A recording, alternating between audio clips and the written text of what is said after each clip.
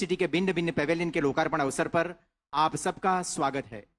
हमारा परम सौभाग्य है कि आज इस लोकार्पण अवसर पर हमें प्रेरणा देने वर्चुअल माध्यम से उपस्थित हैं सवा सौ करोड़ भारतवासियों के हृदयस्थ विकास पुरुष मान्यवर प्रधानमंत्री श्री नरेंद्र मोदी जी व गांधीनगर मत क्षेत्र के सांसद एवं भारत सरकार के गृह व सहकारिता मंत्री श्री अमित शाह जी।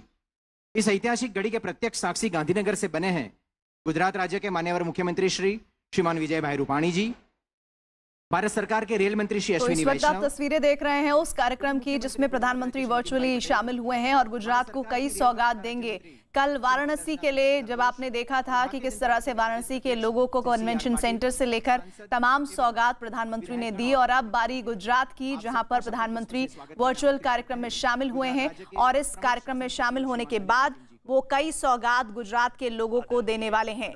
वडनगर के लिए खास तौर पर तैयारियाँ हैं। इसके अलावा ये भी जानकारी है कि विद्युतीकृत ब्रांड गेज लाइन का भी वो उद्घाटन करने वाले हैं। साथ ही साथ जानकारी ये भी आ रही है कि अलग अलग तरीके से गुजरात के लोगों की सुविधाओं को बढ़ाने की कोशिश है। गांधीनगर स्टेशन को आधुनिक बनाया जाएगा। आधुनिक बनाने में इकहत्तर करोड़ रुपए लगे हैं। आधुनिक हवाई अड्डे जैसी सुविधाएँ होंगी। विश्व स्तर की सुविधाएँ यहाँ पर मौजूद होंगी। विशेष टिकट बुकिंग काउंटर की योजना है। दिव्यांगियों के लिए अलग से विशेष सुविधा दी जाएगी। पार्टी लिफ्ट आधुनिकी सीढ़ी आधुनिक सीढ़ियों की भी सुविधा होगी आधुनिक लाइटों को भी स्थापित किया जाएगा। एक फाइव स्टार होटल की भी सुविधा दी जा रही है। तो पाँच स्टार रेलवे स्टेशन के उद्घाटन के अवसर पर किस तरह से इस रेलवे स्टेशन को कई ऐसी सुविधाओं से लेस किया गया है जो गुजरात के लिए एक बड़ी बात है और गुजरात के लोगों के लिए एक बड़ी सौगात से कम नहीं है।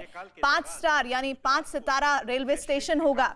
अभी तक आप होटल्स के बारे में सुनते रहे हैं लेकिन रेलवे स्टेशन को भी किस तरह से फाइव स्टार मॉडल पर खड़ा किया गया है उसकी एक बानगी आज आप इस कार्यक्रम के ज़रिए देखेंगे। गुजरात के पीएम गुजरात प्रधानमंत्री का वो गढ़ जिसके लिए लगातार एक बड़ी पहचान और छाप उनकी वहाँ से रही है वो वहाँ से खुद चीफ मिनिस्टर रहे हैं और एक अलग ही तरह का लगाव उनका गुजरात से रहा है। और ऐसे में आज वो अवसर है जब वो गुजरात के लोगों को कई सौगात देने वाले हैं। और इन सौगातों के जो कार्यक्रम है ऑफिशियल वो चल रहा है जिसमें प्रधानमंत्री शामिल हुए हैं इस कार्यक्रम में वर्चुअली पाँच स्टार होटल रेलवे स्टेशन की जैसा आप देखेंगे, ऐसा बनाया गया है जो पाँच सितारा होटल होता है उसकी तर्ज पर।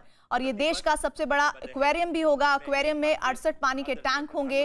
अनोखी जो गैलरी है, उसका भी निर्माण होने की जो तैयारियाँ हैं, उसके तहत ये कार्यक्रम किया जा रहा है। और ऐसे में आप ये समझिए कि अब कल बारी थी वाराणसी के लोगों की, उत्तर प्रदेश के वाराणसी, जहाँ से प्रधानमंत्री खुद सांसद है। और अब बारी है गुजरात की। गुजरात जो प्रधानमंत्री का अपना अपना अपना क्षेत्र कहा जाता है। वैसे तो प्रधानमंत्री देश के जिस भी हिस्से में जाते हैं वैसे ही अपना तो उनके बीच उनके भाषा में उनके तौर तरीकों में नज़र आता है लेकिन गुजरात से एक अलग ही तरह का उनका लगाव है। और क्या क्या सौगात मिलने वाली है उसकी लगातार हम लिस्ट भी आपको दिखा रहे हैं। कई परियोजनाओं का उद्घाटन होना है और साथ ही साथ इस सौगात को मिलने का इंतज़ार गुजरात के लोग बहुत लंबे वक्त से कर रहे थे।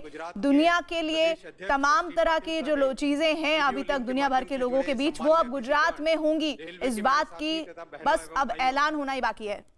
प्रधानमंत्री जी का संकल्प है कि रेलवे का विस्तार हो आधुनिक तकनीक आए एवं जनमानस के जीवन में एक परिवर्तन आए जो दिखे जो लोगों को महसूस हो। इसी संकल्प की इसी संकल्प को सिद्धि की ओर ले जाना हमारा कर्तव्य है। रेल के विकास से राष्ट्र का विकास हो ऐसा मान्य प्रधानमंत्री जी का विजन है। इसी कड़ी में पिछले सात वर्षों में रेलवे में कई बदलाव आए बड़े बदलाव आए।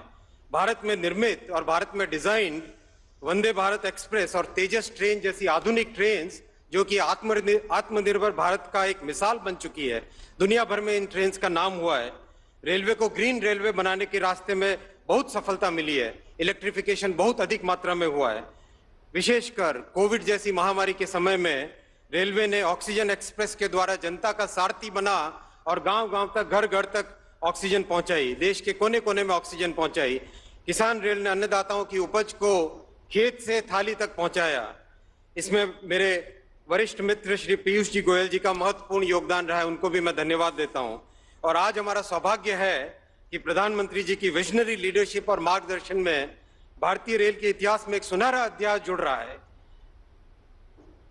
ये जो जिस बिल्डिंग में आज हम अभी बैठे हैं, गांधीनगर कैपिटल रेलवे स्टेशन की ये भव्य इमारत आज भारत के एस्पिरेशंस का जीवंत उदाहरण है। प्रधानमंत्री जी के विजन का मूर्त रूप है। आज महसाना वरेठा लाइन को ब्रॉडगेज में कंप्लीट किया गया। इसका भी आज, इसका इलेक्ट्रिफिकेशन भी कंप्लीट हुआ है। आज माननीय प्रधानमंत्री जी इन प्रकल्पों का भी लोकार्पण करेंगे। गांधीनगर कैपिटल से लेकर वाराणसी सुपरफास्ट एक्सप्रेस और गांधीनगर कैपिटल और वरेठा के बीच एक जनता के लिए अति महत्वपूर्ण मेमू सेवा का भी माननीय प्रधानमंत्री जी द्वारा हरी झंडी दिखाकर शुभारंभ किया जा रहा है।